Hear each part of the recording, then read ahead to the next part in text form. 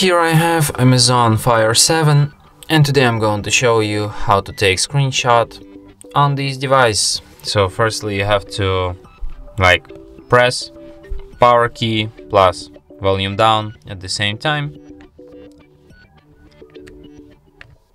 and that's how you can take screenshot.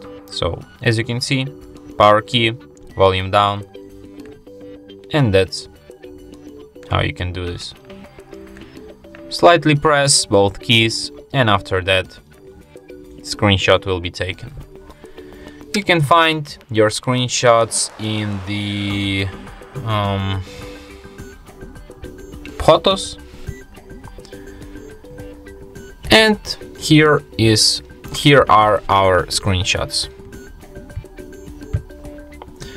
and from here you can share edit or just move to trash your screenshots. So yeah.